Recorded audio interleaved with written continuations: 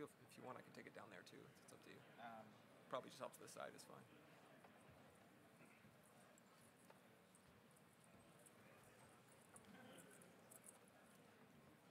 slide here so I can see the uh, screen a little better. Sure. All right.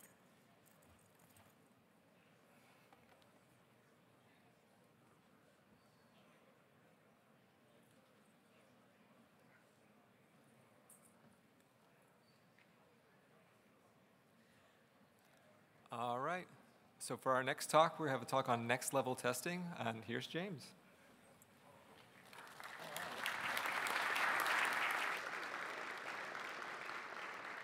Hi, everyone. Thank you. Um, thank you all for being here today. My name is James Saryerwinnie. I'm a software development engineer at AWS, and I work on the SDKs and tools team. So primarily involved with the Python tooling, things like the AWS CLI, uh, Boto 3, which is the AWS SDK for Python, uh, and a couple of other open source projects that I'll be using as examples today. So Today I'm going to be talking about testing, and in particular, testing that goes above unit testing and integration testing. And the idea is to help us write higher quality software in as efficient manner as possible. And so today I wanted to share a couple of test types that I've used in projects that I found really helpful. And for each of these, um, I'm going to talk about not only what they are and why you would use it, but also try to give some real-world examples and some tips on how you'd integrate it into your project. Uh, one of the things that I always found is whenever I hear about these new test types, they make a lot of sense and I understand them, but it's always a little bit uh, confusing exactly how I can add them to my project or exactly what types of issues they're going to find, so I'll try to give you some examples from projects I work on. Now, with that being said, there's a lot of stuff that I want to go over, so I think we'll just jump right into the first topic here, which is property-based testing. So with property-based testing, the idea is pretty straightforward. You know, here's a traditional test with something like absolute value, and normally what we do with unit tests, we would write specific cases. So we test positive numbers, we test negative numbers, we test zero. But uh, property-based testing is all about um, giving general statements about whatever your function does. So instead of a specific instance like the integer 3, we might make a statement that says, for any integer you can throw at this function, it should return a value that's greater than or equal to 0. And this is what we mean by properties. And in almost any case, there's always some sort of property you can assert about your test. And if we wanted to do this ourselves and not use a framework, um, this is a very simplified version of it, but we could just say, let's pick a bunch of random numbers and um, call it with whatever number we've generated and just double check that the value is greater than zero. Right? This is a very simplified example here, but that's essentially the essence of property-based testing, which is you write assertions about the properties of your functions, and then you use, usually you use a framework to help generate the sample test input, and then one of the great things about the framework we'll look at is that once it finds a failing case, it can simplify it down and try to tell you the minimal um, input needed to reproduce that issue.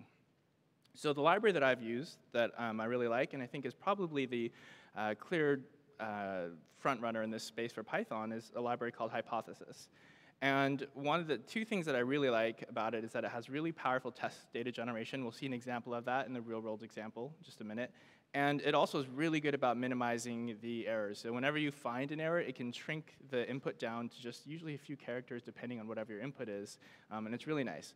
Uh, so you just pip install Hypothesis. You use your existing test runners. You don't have to use any new executables. You just add it to whatever test suite you have.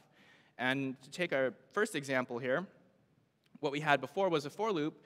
The equivalent here is just using this given decorator. So this is just in our normal test suite. If you have unit tests, it would just go in that section there. And what we're doing here is we're importing uh, the two things, given and the strategies thing. So given is the thing that's going to wrap our test function and give us the looping, and it's actually much more involved than just a simple for loop, but it will generate a bunch of sample test data, pass it to our test function, and then we just assert properties about whatever's been given. Now, so far I've been using this simple integers strategy here, which just gives a bunch of random integers. And the nice thing about this is it's very easy to just try it out in the REPL and see what happens. So here I'm importing integers, and I just call dot .example whatever my test data is, and you can see it's giving me all kinds of random data, large numbers, small numbers, positive, negative numbers. But the thing that I really like about this framework is it's much more powerful than this. So here's another example here. What we're saying here is we want a list type, and the list can have elements that are either strings, integers, or booleans.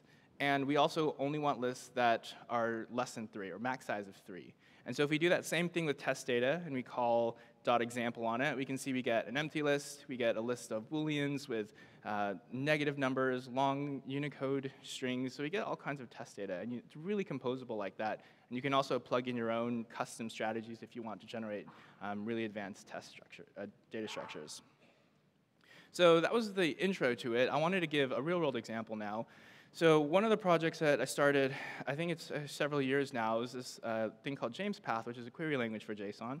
It's using a couple of project, uh, products. If you're familiar with the AWS CLI, if you've used dash dash query to grab instance IDs or state name, um, JMESPath is the language that backs that. And then also um, recently was added to Ansible via the JSON query function. It's the same thing.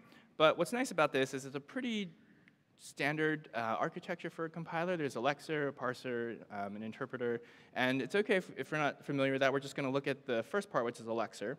And for the lexer, uh, it's if you're not familiar with how it works, it takes a string, so in this case, foo.bar, and it breaks it up into tokens. So we can see uh, the return value here, and specifically it's a list of dictionaries. And you can see for each type, it gives me a type that says unquoted identifier, here's the value, the next one's a token of type dot, uh, and so on. And then in JMESPath, the last token is always an EOF token to indicate we're done. But right off the bat, if we think about just this, the lexer that takes string, converts it to various tokens, there's several properties that we can say. So the first one is something that I think no matter what code you have, you can always write something like this, which is you call whatever method or whatever thing you're testing, and it either has to return some type that you expect, or it should raise some specific exception. If it raises anything else, then we are we're going to say that it's an, uh, a bug and something we need to look at. So I think this is a pretty straightforward property that, again, really applies to any kind of code you would write. But for a lexer, there's additional things that we can assert. So here's a couple more examples. Let's say uh, if you think about how a lexer works, it tells you where the start of every token is, right? And it wouldn't make any sense to have a token that had the same starting location. That's just not really something that makes a lot of sense. So we can assert that here. Um, additionally, the way that a, token, a tokenizer a lexer works is it linearly scans through your input. So the starting location should always increase. It'd be really weird if you had something at index 0, and then at 5, and then at 2, and then at 1, uh, and it usually would confuse your parser. So we can also assert that the starting locations are always increasing. And we have this all set up. We run this, and one of the bugs that it found was uh, this key error, which, you know, if you're a user of the library and all of a sudden you see key, key error unknown, I mean, it doesn't make any sense, right? So that's why uh, one of the properties is to make sure we catch any of those errors and raise a proper um, exception type that has a lot of context about the expression you're parsing and why it failed. And the, I won't go too much into the details of what's going on, but essentially what happened was there is this tokenizer part here that's supposed to say if it can't figure out what token, um, the else type is this string unknown. Uh, but the problem is that that's not really, that's not a valid token type. And the proper way to fix this is to use um, an exception. So if you don't recognize a token, you're supposed to raise a Lexer error, uh, and that's the proper way. There's not, you're not supposed to return a token type that's type unknown because the parser doesn't understand that. But I think what was more interesting here was not that it caught the bug, because this is now the fix, but it's also a chance to give you design feedback. So what it was saying here was that you're using these hard-coded strings in the lexer and hoping they sync up with things that are in the parser that's indexing into some dictionary there. But it would be a lot easier if you just had a tokens module that actually had you know, a proper attribute. Not only could you get autocomplete, you would get um, proper errors in the case of just running your unit test because you would get an attribute error. Uh, and you can also get a lot of benefit from tools like Pylint um, via static analysis that would tell you that this module doesn't have this um, token called unknown. So um, there's a couple of other things you can use with uh, Hypothesis. And again, it's really about just making yourself more efficient about um, the code that you're writing. And a couple of examples. One is using it for refactoring. So even if you don't use it as a final test, one of the things I've done is if you're refactoring and it's a pure refactoring of a function, you can take uh, your old function and you can take your new function and write a test that says anything that I give to the old function should give me the same value if I pass it to the new function. And if not, then it's not a true refactoring and I might have introduced a bug in uh, the new refactoring.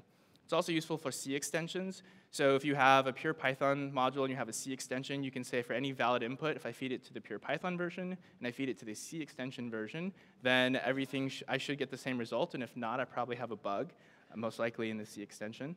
Um, so it's really useful for a number of things besides uh, the traditional types of tests you might think of. So as far as integration with CI, I think what I found is I run this as part of every commit, as part of the Travis build or Jenkins build. Um, the two things that I've run to in practice, um, since I primarily work in the library space, we support a number of Python versions, which includes 2.6. And Hypothesis is not available for 2.6. There's a separate package um, that supports 2.6 that I haven't used. But, um, so I have to exclude it if I'm using 2.6.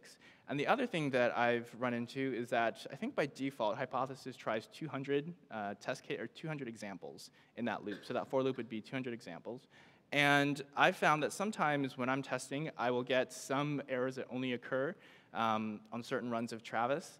And to help fix that, if I bump up the number of times up to, in this case, uh, 10,000, that seemed to work. And that I think that made the test run about 30 seconds total, whereas um, the default is maybe a second or so. And that's something that I've uh, found really useful to make sure that you have reliable runs on Travis CI. And then again, you can just pass that to the uh, decorator for each test function you have. You just pass the settings decorator.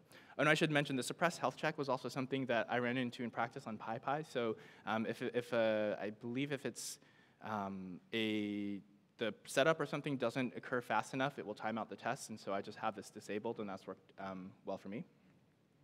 So that was property-based testing. Hopefully it gives you an idea of some of the things you can use it for. I found it really, really useful.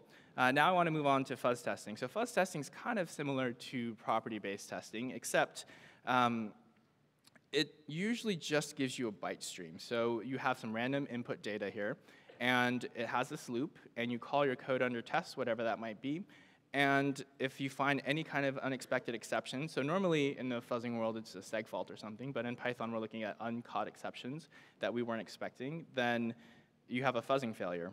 And to illustrate this, we'll start again with a simple example before looking at the real world example. Um, consider this function here. It's, it's buggy. And specifically, if you pass it a string that's length 5 that then has the characters B, U, G, and then G and Y, it will throw a runtime error. And I'm doing this with this nested if-else to show you how fuzzers can really help you out here. But um, let's say that we didn't use any kind of fuzzing framework. We just wanted to do this with brute force. So a simple way we could do this is start with characters that start with length uh, 1 all the way to 100 and just generate every possible sequence of characters that we could. Um, and in fact, we're only using string.printables, which is um, letters and numbers and um, certain symbols. we try that, and if you do this and you run it, on the machine that I tried it on, it took about eight and a half minutes until it got to character or strings of length five, until it got to the specific sequence B, U, G, G, Y. So eight and a half minutes to find a simple bug like this. What fuzzers can do is find this a lot quicker. So the one that I've used that I really like is AFL stands for American Fuzzy Lop, and it has coverage-guided fuzzing. And what that means is it's able to look at the input it's generating, see what parts of your code get executed, and then use that to guess how it can change its input to further explore your code. And normally AFL is used for C programs, and you can use it to instrument your C programs, and it's also um, hooks into the compiler to instrument a binary, but there's also a Python AFL. And this is the name of the package you would install. And if you're familiar with the sys.setTrace function, it uh, leverages that in order to integrate with Python coverage data. And the way the fuzzers generally work, and this is the case for most of the fuzzers I've seen, um, even in addition to AFL, is you have some sort of script, usually some sort of shim that takes uh, input on standard in and then executes your code. And then you also have a set of sample input files. So if you were uh, fuzzing a language, this would be valid, um, valid programs. If you're fuzzing a file format parser, this would be valid file formats. And it's really used as a starting point for it to start mutating your code. And once you have that, um, this is all you would need for that same example in Python. You just import AFL at the end, and you have this while AFL.loop, you call your main function. And again, our main function is just reading from sys.standardin. And every time through the loop, sys.standardin will have new input. Now, I wanted to show you an example of how this works. So hopefully we can see that. Um, so this is a, a video here. And what's happening is it's the same function. This is on the same EC2 instance that ran the brute force version. And as you can see, it's checking for length 5, checking for B, U, and then G, G, Y. Oh, okay. All right, so I'll try to narrate what's happening. Um, so essentially what's happening is um, there's this input here, this corpus, And what, what's going to happen, or what is happening, is it will run this PyAFL, and it's a little hard to see, but I just wanted to give you um, sample input here. So we're saying that the results go to this dash O, and then um, the input comes from this corpus. And if we run this, you might be able to see this. It's kind of dark here, but um, it'll switch screens real quick, and you can see in probably about a few seconds, it caught uh, the bug. Maybe that's a little easier. And at the top there, it says it took about three seconds to run. And for any of the fuzzers, um, we specified a results directory, right? And in that results directory, there's a crashes directory that says the input that crashed. And if you look at that, it should be um, this B-U-G-G-Y down at the bottom. So switching back to the slides here. Um, to reiterate what happened there, when we ran the fuzzer, it created this directory, and in that directory, there were a couple of files there. So anytime it finds a crash, it puts it in the crashes directory, and that input, or that file name has some metadata about where it was in the input, but the contents of that input, or that file, is what caused the crash. And so in that example there, it was saying that this string sequence broke the code. It raised a runtime error. But what I found really interesting about this is that if you look at the Q directory, this Q directory has a number of files, and in that um, directory has additional inputs that got it further along in the code. So for example, if we look at the contents of these files, we can see that it starts and it figures out that strings of length 5 get me further along in this function than strings that aren't length 5. And then additionally, it starts with B, and then BU, BUG, and eventually all the way until it finds that BUGGY takes it all the way to crashing um, with a runtime error. So that's one of the nice things about these fuzzers, is they're really smart about trying to explore all the various parts of your code to make sure that you're able to test um, much more in depth than you could from a brute force, or at least a lot quicker. All right, so as an example of using this, um, one of the other things I work on is the AWS CLI. And in the AWS CLI, we have this um, shorthand syntax. And it's kind of a similar thing to JSON. What we found was that if you specify JSON on the CL, uh, command line, it's a little bit awkward with the quoting and depending on what shell you're using. So this is um, something that's a little less noisy. And we can use that same framework that we saw before where we just have something that reads from standard in, tries to parse it, and again, has to get a shorthand parse error or else it fails. And to see this, we took um, the examples that we have in our documentation about valid shorthand syntax and use that as a starting corpus. Unfortunately, didn't find anything too crazy. The one thing that it did point out, which uh, when you look at it, it's I guess obvious in hindsight, but uh, is this max recursion error. So the parser that's used in JMESPath is a recursive descent parser, and, and, of course with recursive descent you can hit max recursion. Now the behavior itself is expected in the sense that yes, you will eventually hit a limit, but the bug is that this is the error that a user would see, just runtime error max recursion exceeded, and with no context about what happened. And ideally we want to catch that, say we were trying to parse something, this is what we were parsing, this is what we ran into, and make it a little bit easier for them to troubleshoot. So this fuzzer um, helpfully pointed that out. Okay, a couple of tips in practice that I found when I run this. Um, so I don't run this as part of the um, Jenkins or Travis build. It usually takes a really long time to run, and there's a couple of heuristics we can't, we won't have time to look at about when you should run it, or when you should stop running it, and when it's found enough. Um, but the two things that I found really helpful is one to use the multi-core support. So in that example before, um, in that video, we were just using a single core, just a single instance, but you can denote one process with dash M, and then all the additional ones with dash S that are more randomized, but what's nice is they'll all use the same results directory, so when we saw that Q directory that had all the interesting input, all the other um, child processes can use that as uh, starting points to really explore the space. Um, and it gives a nice increase in the amount of fuzzing it can do per unit time. The other thing that's really nice is the persistent mode. So in persistent mode, normally if you're not using persistent mode, it executes a process and then the process exits. And with persistent mode, what it's saying is instead of exiting, we'll just continue to reuse the same process. Now you have to be careful. Uh, in the examples I've been using, those are fine because there's no global state, we're not mutating anything at the module level, and we're just instantiating a new class each time, so that's okay. But if not, then you would have to use the version of this where it just exits the process each time. And I found when you do this, it usually gives about a three to four times speed up depending on what you're doing, but that was pretty consistent for me. So those are the two tips I recommend if you're gonna go down this route. Okay, next one, stress testing. So, so far, the two types of tests we've looked at are really about using the same code but randomized input to try to explore and find issues with your code. This one's a little bit different, and I'm kind of um, overloading this, this term here, but with stress testing, the idea is that you take um, the same input, but you have different execution. So primarily this comes up when, it, when you talk about threading. So ideally, yes. I, sh I, should put this standard disclaimer. If you can use multiprocessing or async I.O. or something, um, those are definitely options you should explore. But a lot of times, especially for I.O.-bound code, threading is a really good solution that works well. Um, we use it a lot. And uh, the example here, I just want to jump into an example, is with streaming downloads. So if you've ever used in the CLI S3CP where you're downloading to the dash means write to standard out, or if you've used download file object to a non-seekable stream, uh, one of the problems with downloading to a stream is that you have to write sequentially. So you can download in whatever order you want, but if you're actually writing to your final stream, you have to write in order versus a file where you can seek around wherever you want and just write out the bits as they come. So one of the things that we have in our code base is this idea of a sliding window semaphore. And I'll go through this really quickly, um, mostly just to help kind of get the context of how these tests can help.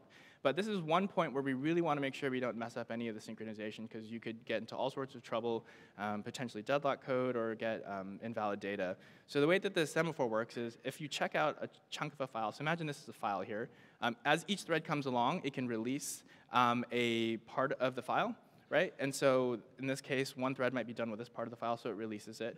Um, another part might be done with this part of the file. But you notice the right-hand side isn't moving until the left-hand side is done.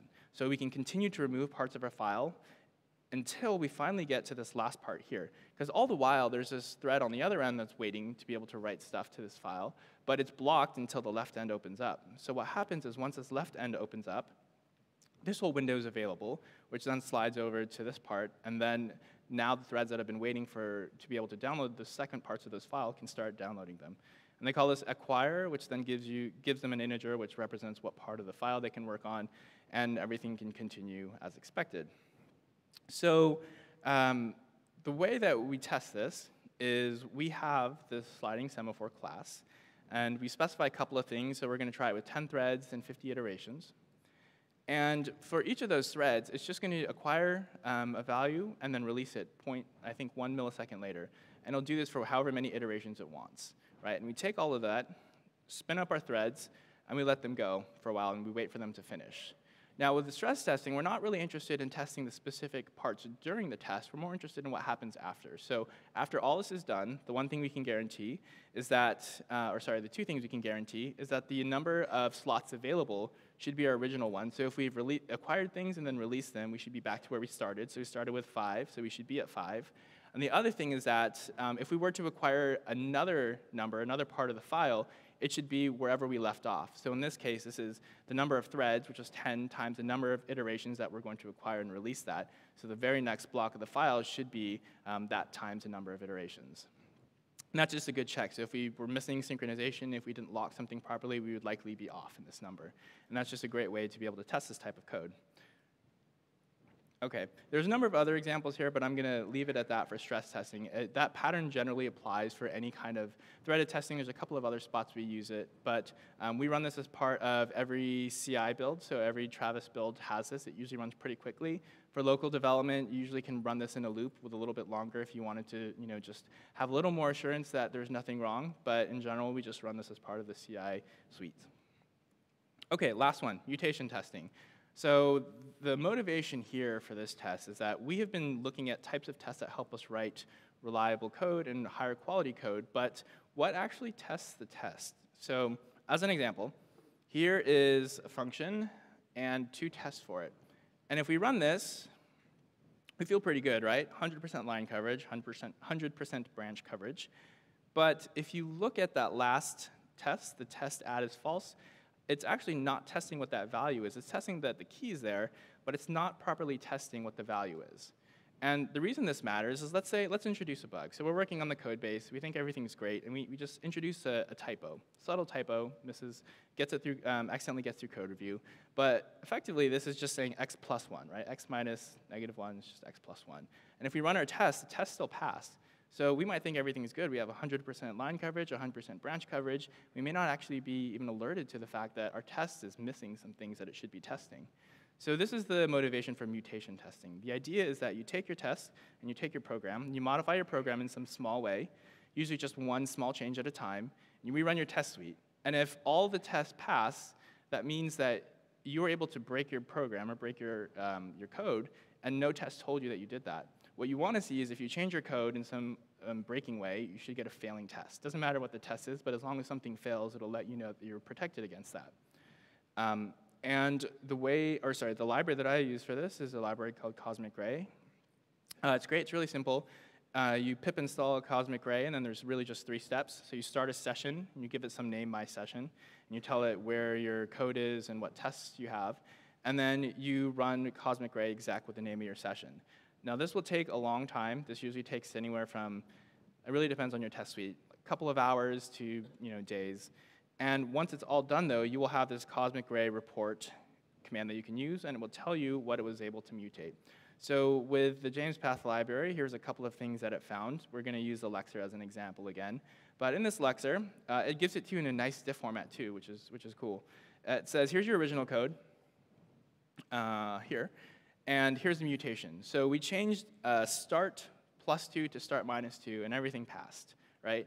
And that, that doesn't seem right. You shouldn't be able to end a token before it started. And potentially that actually, if we had a property test for that, that could have caught this. But the test still passed. And so if we do it again, it kind of like really hammers home the point that you're missing test because it said we can also divide by two, um, and we can also, uh, you know, square the number and everything still passes. So I think the point is like, yes, it's missing a test, clearly. Um, here's some of the other things that the mutation testing framework can do. So it just messes with binary operators, changing in to not equals, you know, equals equals to less than equals, messing with constants. So you see self.index equals zero to self.index equals one, and just reruns your test suite to see what happens. So a couple of tips in running this. Um, it's Python 3 only. So you have to make sure that you handle that appropriately, and it has a long execution time this is not something that I run as part of the normal suite. This is usually just used as an audit. So every now and then we'll run this, see what happens, and if we have missing tests, then go back, or missing uh, gaps, then we'll go ahead and add tests for them or update our tests. And it's really helpful if you have a fast test suite. So it is possible to do distributed test execution with Celery with this. I haven't used that, so I'm not exactly sure what's all involved in setting that up. But if you have a fast test suite, you'll generally get your, your results faster. Okay, so to wrap up here, we looked at property-based testing, fuzz testing, stress testing, and mutation testing. Hopefully this gives you um, some interest in exploring these additional test types. Consider adding them to your project. They're very straightforward to add, and I found them really, really helpful in my own projects. Here's some additional links to the projects that I used, um, and a link to JMESPath, and that's my Twitter handle if you want to follow me. But once again, thank you, everyone.